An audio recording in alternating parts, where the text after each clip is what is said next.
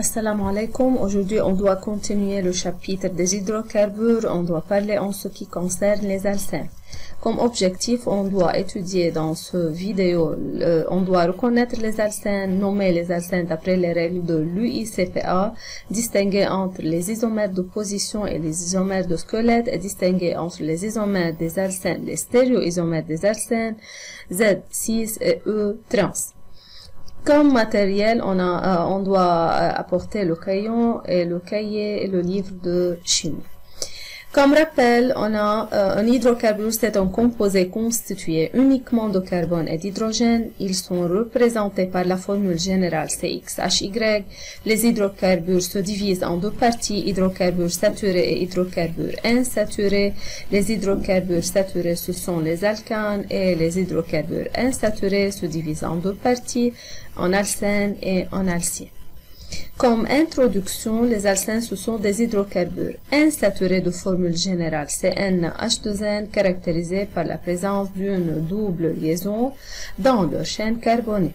Alors donc on a une liaison covalente double dans la chaîne carbonée des alcènes.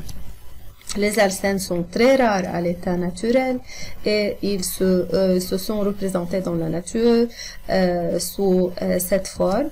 L'éthène, c'est une hormone des plantes qui induit la maturation des fruits. C'est un exemple des alcènes. Position des alcènes. En recherchant les isomères de position et de squelette des alcènes de formule C4H8, on trouve. Tout d'abord, on doit prendre les isomères de C4H8.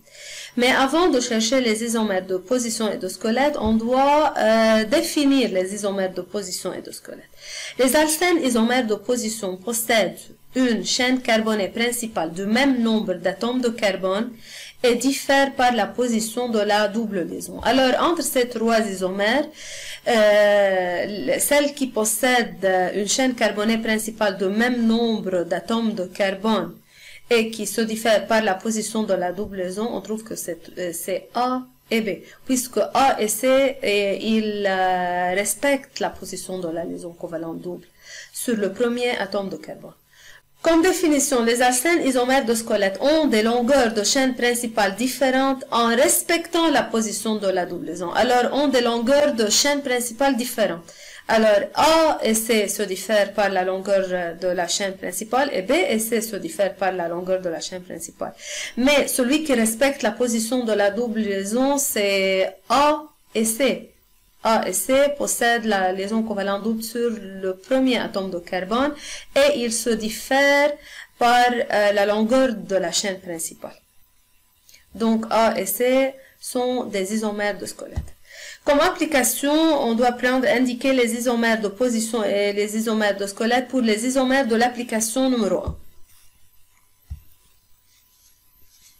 Solution de l'application 1, isomère de position. On a dit comme définition que les isomères de position possèdent une chaîne carbonée principale de même nombre d'atomes de, euh, de, carbone et qui se diffèrent par la position de la double liaison. Alors, le premier groupe, on doit prendre pour le premier groupe les deux isomères qui possèdent euh, la même chaîne, euh, une chaîne carbonée principale de même nombre d'atomes de carbone, mais ils se diffèrent par la position de la liaison covalente double. Et faites attention ici, la nomenclature est la même, mais la position de la liaison covalente double se diffère entre les deux isomères.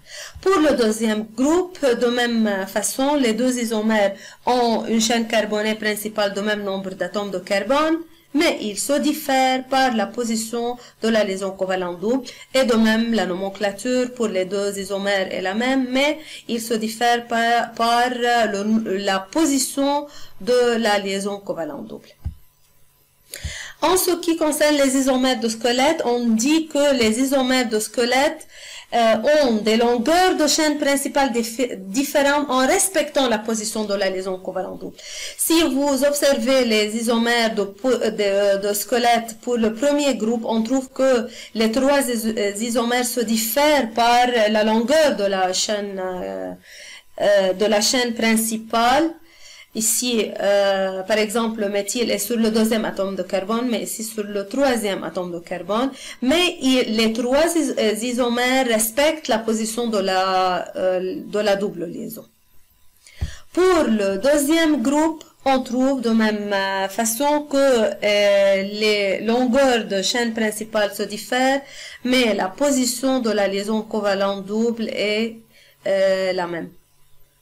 Donc la position ici est la même. La stéréoisomérie Z et E. La stéréoisomérie, c'est la géométrie de la molécule d'un alcène dans, dans l'espace. C'est la stéréoisomérie. Dans la molécule A, les deux groupes méthyl R se trouvent d'un même côté de la liaison covalente double, alors A est le stéréoisomère Z au 6. Alors, voilà, c'est la liaison covalente double et euh, chaque atome de carbone doit y avoir un atome d'hydrogène et un groupe alkyle l'autre atome de carbone de la même façon, un atome d'hydrogène et un autre groupe alkyle. Alors, euh, si euh, la stéréoisomérie de, euh, de la molécule est Z ou 6, alors il faut que les groupes alkyles doivent être placés du même côté par rapport à la liaison covalente double et les atomes d'hydrogène de la même façon et de, de l'autre côté. Même je peux mettre les deux atomes d'hydrogène en haut et les deux groupes alkyles en bas.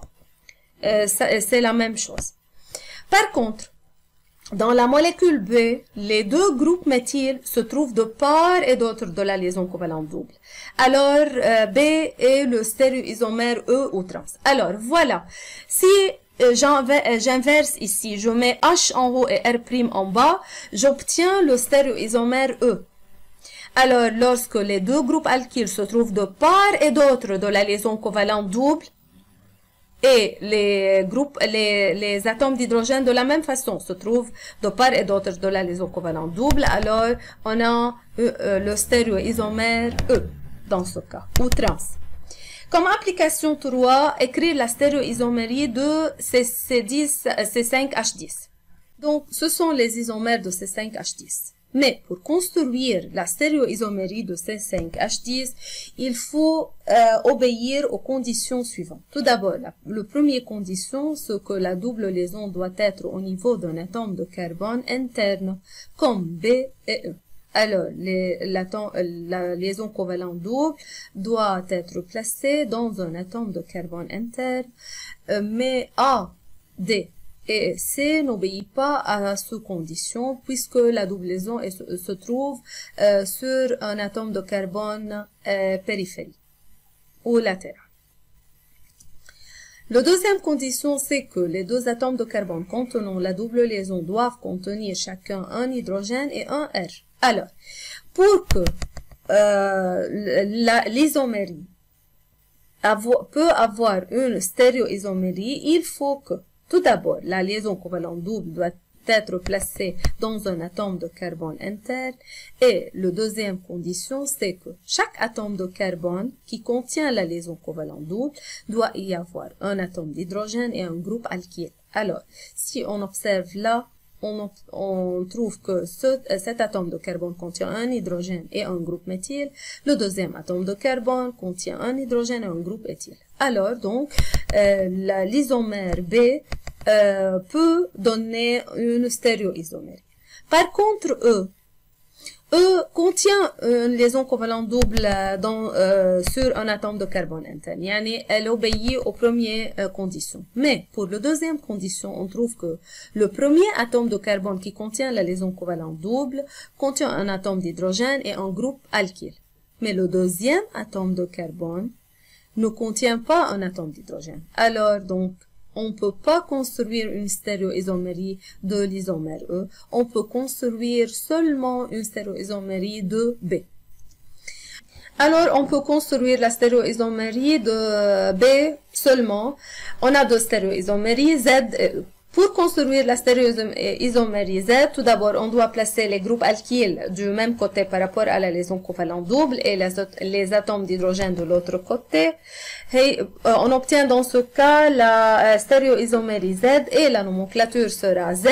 On le met entre euh, les parenthèses, on met tiré entre Z et la nomenclature et on écrit le nom de, euh, de cette stéréoisomérie. Donc 1, 2, 3, 4, 5, donc elle reste pente de N. ou 6. On peut mettre, au lieu de mettre Z, on met, on met 6. Pour euh, la deuxième isomérie qui est E ou trans, on doit changer la position de H et R ici. Alors, on, euh, on obtient que les, les, les atomes d'hydrogène se trouvent de part et d'autre euh, de la liaison covalente double et les groupes alkyles, de la même façon, se trouvent de part et d'autre par rapport à la liaison covalente double. Et dans ce cas, on obtient la stéréoisomérie E. De la même façon, on doit écrire E et trans entre parenthèses et on met tiré entre E et la nomenclature. Comme résumé, la formule générale d'un alcène est CnH2n caractérisée par la présence de double liaisons dans la chaîne carbonée.